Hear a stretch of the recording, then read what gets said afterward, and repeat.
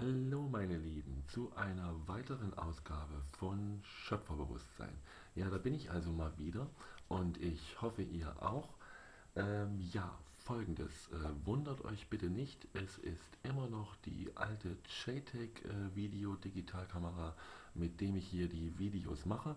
Ähm, die neue Kamera ist hier angekommen, äh, doch leider musste ich feststellen, dass es äh, eine Retour gewesen ist. Also irgendjemand hatte diese, äh, diesen Camcorder, den ich bestellt hatte, schon einmal zugeschickt bekommen. Äh, es war keine Schutzfolie mehr auf dem Display. Des Weiteren habe ich zwei Kratzer auf dem Display entdeckt. Und somit äh, geht es natürlich wieder zurück. Ich hatte diese Bestellung über Amazon gemacht und ähm, eigentlich sollte der Hermesbote heute hier bei mir äh, eintreffen und das Teil wieder abholen, aber er war noch nicht da. Ähm, hier kann ich euch auch noch mal das Paket zeigen, die Retour. Ja, ähm, ich hoffe, dass er dann natürlich morgen hier eintrifft, äh, das Teil wieder mitnimmt. Es geht natürlich zurück. Ähm, ich kriege das Ganze gut geschrieben auf meinem Amazon-Konto und werde dann den Camcorder nochmal bestellen. Ja. Ich versuche es ein zweites Mal und hoffe, dass es dann funktioniert. Wie ihr seht, werden mir schon wieder Steine, Steine, Steine in den Weg gelegt, aber äh, aufgeben gibt es nicht. Es geht immer nur weiter. So, äh, das zu dem. Zum anderen ist das Buch, ich würde es wohl eher ein Heft nennen, ein Buch ist es wirklich nicht. Äh, das strukturierte Prinzip der Liebe bei mir eingetroffen. Ich kann es euch mal kurz zeigen. Hier, so sieht es aus. Ungefähr 50 Seiten äh, beinhaltet der Spaß und es sind wirklich Thomas seine Worte äh, einfach übernommen von Heiko. Ja, also so wie Thomas auch Schöpferwissen TV macht, so steht es auch hier drinne geschrieben. Ja. Ähm, ich habe es angefangen zu lesen. Äh, wie gesagt, einiges äh, von dem, was hier drin steht, äh, wusste ich schon. Äh, das ist ja nun in unseren Seelen, in unserem Wissen äh, verankert. Ähm, ja, aber auch hier äh, scheint es Probleme zu geben. Und zwar war in dieser Postsendung, ähm, zeige ich euch auch mal, ähm, könnt ihr es sehen, eine Rechnung drin, ja, die da wohl 9,10 Euro zusätzlich äh, beinhaltet. Äh, es ist an einen anderen Heiko in Leipzig adressiert, ja, was sehr, sehr komisch ist, äh, wo ich ein wenig verwirrt war. Ähm, und dann hier im, im Text steht dann also meine Bestellung drin, äh, meine Adresse, äh, wie gesagt, das strukturierte Prinzip der Liebe, 6,15 Euro. Das Ganze kommt von ePubli. Ähm, und dann nochmal extra Versandkosten und dann landen wir hier bei 9,10 Euro. Ja, 9,10 Euro, meine Lieben. Ähm, die wohl morgen am 24.02. fällig sind und äh, die Leute meinen, äh, dass sie das einfach per Bankeinzug, per, per SEPA-Lastschrift von meinem Konto abbuchen könnten. Tja, leider Fehlanzeige. Sollte das wirklich so sein, dass die hier einfach sich erdreisten, an mein Konto zu gehen, ja, dazu ist zu sagen, ich habe ähm, keine Einzugsermächtigung erteilt, ja, keine Lastschriften äh, erteilt, ich habe nichts unterschrieben, ich habe nichts auf der Seite, äh, ich glaube Geisteskraft.com, äh, Thailand.com äh, war es, wo ich das äh, Buch, das Heft bestellt hatte, ähm, ähm, angegeben, ja, ich habe da nichts ausgefüllt, keine Unterschrift getätigt, nichts, null, somit sind die auch nicht berechtigt, einfach äh, da einfach an mein Konto zu gehen und sich nochmal 9,10 Euro runterzuholen, ja. Äh, Im Gesamten, Moment, ich hatte es vorhin ausgerechnet, äh, ja, äh, das Buch selbst kostet 35 Euro, dann kommt da 7,95 Euro äh, Versandgebühren obendrauf. Ähm, und wenn wir jetzt die 9,10 Euro, äh, die hier stehen, ja, wo ich wirklich verwirrt bin, was das hier soll, ähm, obendrauf rechnen, äh, landen wir bei 52,05 Euro. Ja, 52,05 Euro für 50 Seiten äh, Heftformat, äh, das strukturierte Prinzip der Liebe. Ähm, ganz ehrlich, das geht gar nicht. Ja? Ist einfach nicht machbar und äh, sollten die sich erdreisten, hier an mein Konto zu gehen und äh, sich einfach hier dieses Geld zu holen, werde ich das Geld natürlich zurückbuchen lassen, ist ganz klar. Ähm, auf diesem Wege äh, möchte ich euch bitten, äh, äh, euch bei mir zu melden. Äh, besonders äh, die Rosemarie möchte ich hier ansprechen. Äh, diese Frau hatte sich auch dieses Buch, dieses Heftbuch bestellt und ich würde gerne mal herausbekommen würden, ob denn andere auch 9,10 Euro jetzt noch oben drauf zahlen müssen oder wie sich das verhält. Äh, zu diesem Zwecke, zu diesem Problem habe ich die E-Mail-Adresse, ähm, die einst bestanden hat, äh, kurzzeitig wieder geöffnet mit einer kleinen Veränderung. Äh, der Zahlencode von Grigori Grabovoy ist nicht mehr hinten dran geschrieben. Ich werde auch äh, in der Beschreibung unter dieses Video die äh, E-Mail-Adresse eintragen, ja, damit ihr wisst, wohin ihr euch wenden könnt an mich. Äh, auch an andere Menschen, die sich dieses Heftbuch bestellt haben und es äh, bekommen haben, möchte ich bitten, sich bei mir zu melden, damit wir zusammen dieses Problem klären können, was es hier mit dieser Rechnung auf sich hat. Ja? Äh, ich möchte das sehr gerne wissen, äh, was das hier soll. Ja? Und äh, ich bin auf jeden Fall nicht gewillt, da jetzt noch 9,10 Euro oben drauf zu zahlen. Es geht gar nicht. Ja? Also bitte meldet euch dringend, dringend, dringend bei mir, ja, äh, 24.02., ja, wo die das einfach abbuchen wollen, wenn es sich denn äh, äh, darum handelt. Ja, wie gesagt, ich habe hier keine Einzugsermächtigung, keine Lastschriftverfahren äh, getätigt mit diesen Leuten und äh, deswegen werden die auch dieses Geld nicht bekommen. Ganz klarer Fall. Meldet euch bitte und äh, sagt mir mal Bescheid, eure Erfahrungen darüber, ob das überhaupt etwas mit uns zu tun hat, warum man mir hier diese Rechnung zuschickt. Meine Intuition sagt, wir haben nichts damit zu tun. Wir haben die 42,95 Euro überwiesen. Ja, das habe ich alles gemacht. Habe das über einen Überweisungsweg gemacht, weil ich kein PayPal-Konto habe und es auch nicht brauche. Und äh, somit war die Sache für mich erledigt. Ich habe die Überweisung am 3.2. Äh, gegen 18 Uhr, es war ein Freitag, getätigt. Dann kam das Wochenende, ja, also 4.5. Äh, 6, 7, am 6. 7.2. hätten die das Geld eigentlich haben müssen. Hier auf diesem Bestellschein, auf dieser Rechnung äh, steht drauf, äh, dass, es, dass die Bestellung vom 8.2. ist, was auch nicht richtig ist. Ich habe die Bestellung am 3.2. gemacht. Und äh, wie gesagt, es ging hier an, an einen Heiko in Leipzig. Ja, mehr kann ich hier nicht sagen. Ihr wisst schon, Postgeheimnis, Adressengeheimnis. Ähm, ja, wie gesagt, ich bin da, äh, bin da jetzt ein wenig überfragt. Äh, bitte helft mir in diesem Bezug. Äh, wer hat das Buch auch bestellt? Habt ihr auch solche Rechnungen äh, dazu bekommen? Äh, wie verhält sich das hier? Ja, gut, dass wir das geklärt haben. Ähm, ja, zu etwas anderem. Ich habe, äh, beziehungsweise meine Seele wieder einmal, ja, die gute, hat mich auf einen Kanal aufmerksam gemacht. Und zwar ist das der Kanal von Skedelina. Skedelina, ja, weiß nicht, ob das irgendjemand von euch kennt, ähm, ein super dufte Typ. Ähm, ich glaube, er ist in Bonn oder Köln und ähm, er ist nicht von dieser Welt das mal vorneweg. Äh, Blue Avians, falls euch äh, das irgendwas sagt, ja, ähm, sind ähm, ähm, Außerirdische, ja, kann man so sagen, Außerirdische. Und äh, dieser äh, Außerirdische in menschlicher Gestalt, ähm, ja, vor vier Tagen ungefähr hat mich meine Seele äh, darauf aufmerksam gemacht. Sie sagte zu mir, Heiko, wir müssen hier weiterkommen. Ja. Dort sind sehr, sehr viele Informationen zu finden klickt bitte diesen Kanal an. Und ich bin immer noch dabei, mir seine ganzen Videos anzusehen. Und ähm, es geht im Grunde genommen um die flache Erde, ja, die nicht 2D ist. Es ist völlig anders aufgebaut. Ja. Schaut euch das bitte an. Ähm, es geht natürlich um die Schöpfung, ja, um uns.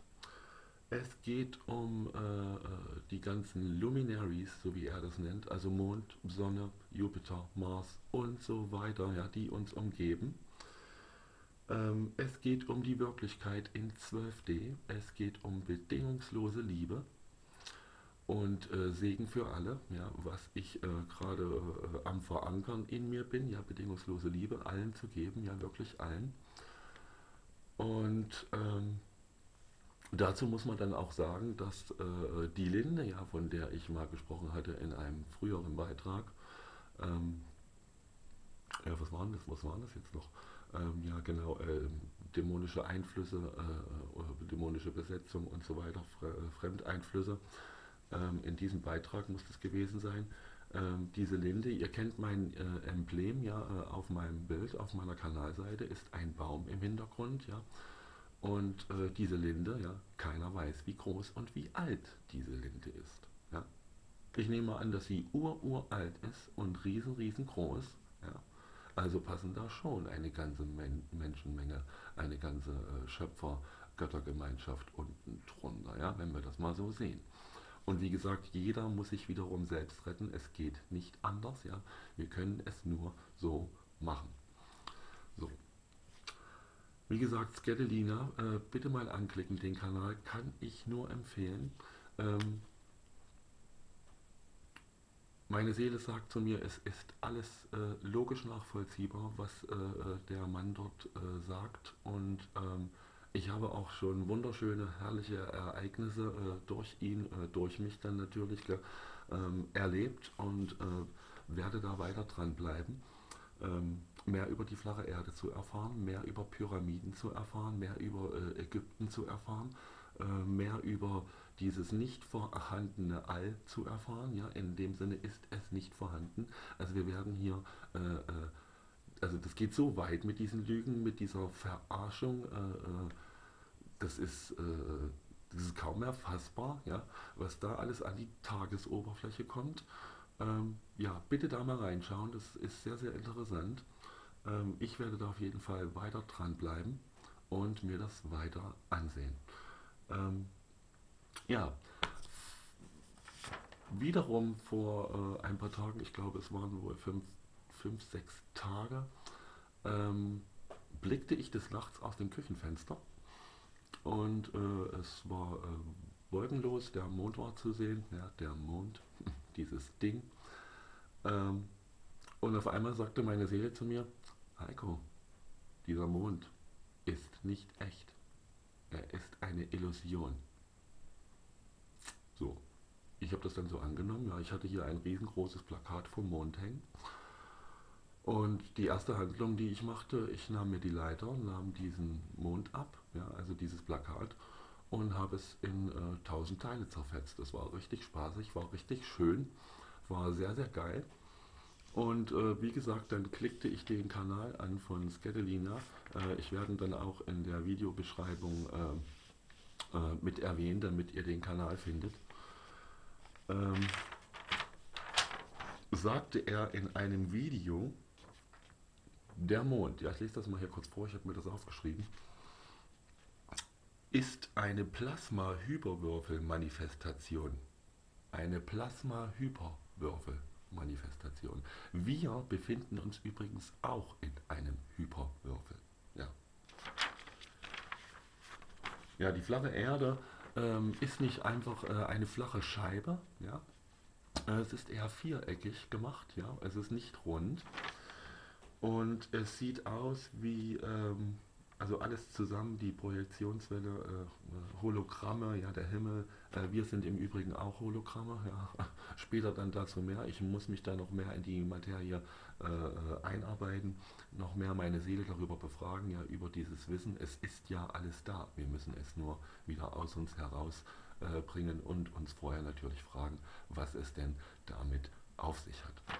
Ähm, es sieht aus wie eine abgeschnittene Pyramide. Ja, also oben äh, äh der Teil fehlt. Äh, ich habe mir das mal hier so aufgemalt. Gucken, ob ihr das hier erkennen könnt. Ja, jetzt sieht man es. Ja, da habe ich angefangen damit, mir das mal hier so aufzuzeichnen, wie das aussieht. Ja, das ist natürlich alles unsichtbar. Ja, Hologramme. So, wieder zurück zum Mond, der in dem Sinne auch ein Hologramm ist. Also wie gesagt, der Mond ist eine Plasma-Hyperwürfel-Manifestation, die Plasmastrukturen und Anordnungen auf der zweiten inneren Mondoberfläche sehen genauso aus wie die Plasmastrukturen und Form der Luminaries in Klammern (Venus, Sonne, Mars, Jupiter und so weiter). Es sind also Plasma-Raumschiffe. Ja, ich weiß, klingt alles sehr, sehr weit hergeholt, ja. Aber im Endeffekt ist es logisch einleuchtend, wenn man sich äh, einige Videos von äh, Scatterlinia angeguckt hat und die natürlich über äh, äh, die Intuition äh, sich selbst befragt, ja, was denn die Seele dazu meint und meine Seele sagt, ja, es stimmt, es ist die Wahrheit, genau deswegen habe ich dich zu ihm geführt. Hm. Muss ich noch was sagen? Nein, muss ich nicht. Ähm, ja. Ähm, also sie reflektieren das Licht, die Energie und äh, äh, haben somit eine energetische Signatur, äh, die auch auf die Sternzeichen, ja, ihr kennt die Sternzeichen, äh, Waage, Witter, äh, Skorpion, Tralala, Wassermann, was es da alles gibt, Zwillinge. Ähm, und diese beeinflussen uns dann also. Ja, so. In unseren Charakterzügen, in, in unseren äh, Dingen, die wir so tun und so weiter, ja, wo jedem Sternzeichen ja dann ähm, dies, das und jenes zugeschrieben wird, ja, um das mal so grob zu sagen, ja, ganz klar. So. Äh, das zu ihm. Erstmal, ja. Ich habe natürlich hier auch mehr aufgeschrieben. Hier steht zum Beispiel auch, dass die Pyramiden ca. 150.000 Jahre alt sind nach 3D menschlicher Zeitrechnung. Ja und in vier, fünf oder sechs in einem vier, fünf oder sechs dimensionalen Zyklus erbaut worden sind. Es gibt da ein, ein äh, spezielles Video von ihm, was ihr dann finden werdet, wenn ihr die Videos durchforscht, wo er das äh, hieb- und stichfest erklärt und äh, völlig logische Zusammenhänge da auch zu finden sind. Ja, viele, viele, viele Wahrheiten. Ja, also wirklich sehr zu empfehlen. Seht ihn euch an. Ja. Er ist fantastisch. Ja. er ist wirklich ein Schnuckelchen, kann man nur so sagen. Ähm, ja. Ja, die Blue äh, Avians haben äh, von der Simulation 3D äh, haben das emuliert. Also äh, im Moment findet hier eine Emulation statt. Ja, es sieht zwar alles noch so aus wie in 3D. Ja, die in 3D im 3D-Bewusstsein gefangen sind ähm, leben das dann natürlich auch immer noch, dieses 3D-Bewusstsein, aber im Endeffekt ist es 12D.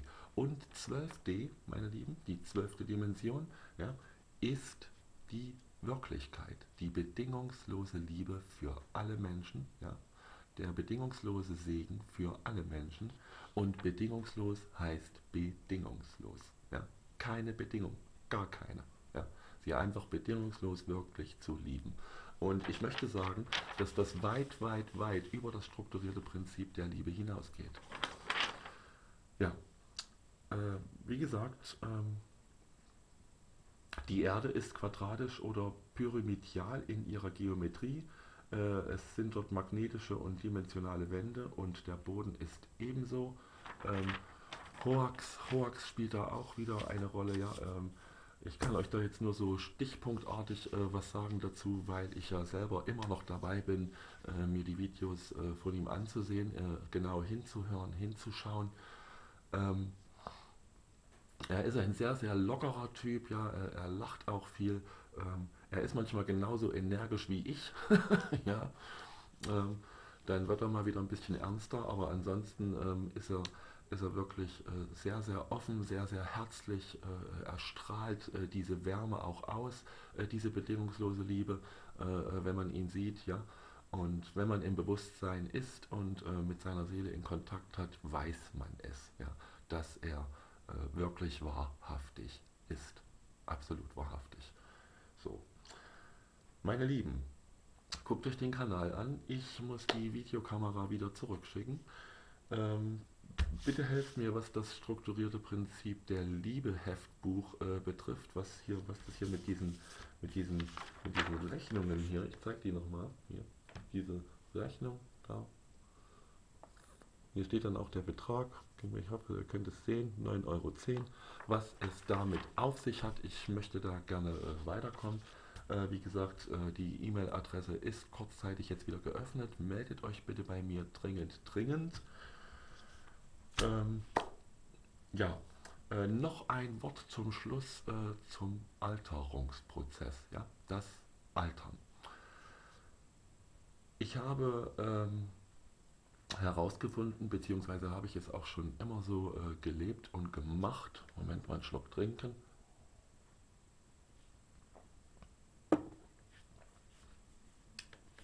dass es ein großes Geheimnis gibt, um die Alterung äh, nicht nur durch irgendwelche Lenkungen zu stoppen, sondern durch die Gegenwart. Ja? In der Gegenwart zu bleiben. Man muss dabei wissen, dass man alle Momente, alle Begebenheiten immer in der Gegenwart durchläuft. Ja? Man erlebt das immer in der Gegenwart. Ja? Dazu sei auch noch zu sagen, macht euch bitte nicht zu viele ähm, ähm, Zukunftsgedanken, ja, äh, dass ihr mit eurem Bewusstsein, was weiß ich, äh, zwei, drei Jahre vorausgeht. Man kann sich gerne mal in 100 Jahren sehen, wo man denn da steht, an welcher Stelle, ja, aber ähm, ja, man sollte das dann aus der Gegenwart heraus machen. Dann funktioniert das, ja. Also, gegenwartstreu zu sein, äh, bedeutet, dass es äh, überhaupt nicht zu einem Alterungsprozess kommen kann. Wenn ich in der Gegenwart all die Momente durchlaufe, ja, und die Zeit, wir wissen, die Zeit ist eine Illusion, da völlig außen vor lasse, ja, also nicht mehr auf diese 3D-Zeit einsteige, ja, äh, weil sie nicht echt ist, weil sie eine Illusion ist und ich weiter in der Gegenwart äh, bleibe und äh, somit dann die äh, Momente durchlaufe, äh, die Begebenheiten, die ich dann so habe in meinem Leben, ähm, kann kein Alterungsprozess stattfinden. Ja? Es geht nicht, ja? weil man immer in der Gegenwart ist. Ja? Lasst auch das wieder äh, in eurer Seele wirken. Ja? Die Gegenwart ist ähm, äh, ein Basic, ja? eine Basis, also fundamental ähm, in unserem Wissen. Ja?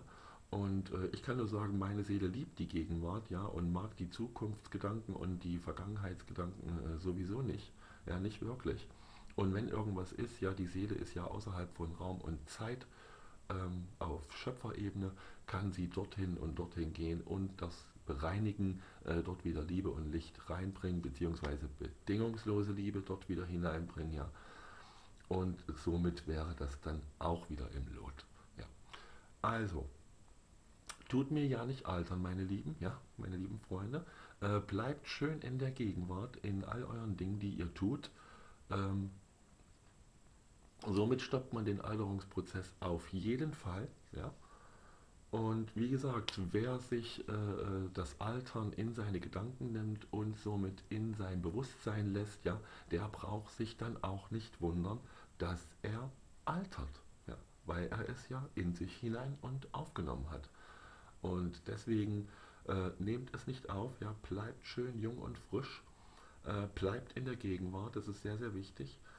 Und ähm, ja, somit möchte ich dann heute den heutigen Beitrag erstmal wieder äh, abschließen. Ähm, äh, schön, dass ihr wieder dabei gewesen seid. Ja, vielen Dank für eure Aufmerksamkeit, fürs Hinhören, fürs Hinschauen. Wie gesagt, äh, schaut mal bei Sketelinia rein. Ich werde euch den Kanal nochmal hinschreiben, dass ihr ihn findet. Ähm, befragt eure Seele, lasst die ganzen Informationen wie immer im Raum stehen. Ähm, schaut nach, wie dass ihr das mit eurem Wissen abgleichen könnt. Ich kann es auf jeden Fall und ich werde weiterhin die bedingungslose Liebe in mir verankern und weiter mit den Blue Avians zusammenarbeiten. Ja? Also die sind echt vollkommen klasse. Sie sind hier, um uns zu unterstützen. Ja?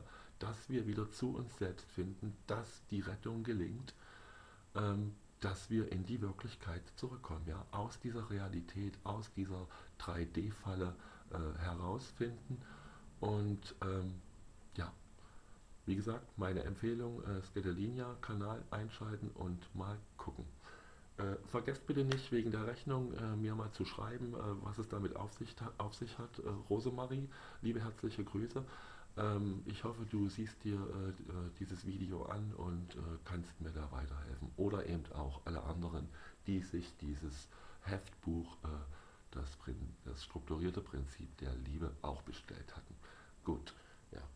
ja Videokamera äh, müssen wir noch ein wenig warten, ähm, aber es wird geschehen. Also da bin ich mir ganz, ganz sicher.